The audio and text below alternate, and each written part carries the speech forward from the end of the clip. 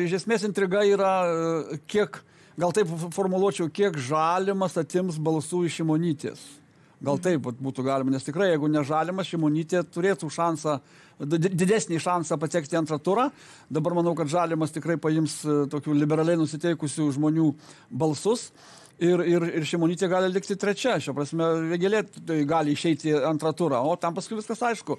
Visi konservatoriai skubiai balsuos bėgs balsuoti už nausėdą nes nes vėgėlė jau tikrai jiems ne netinkamas kandidatas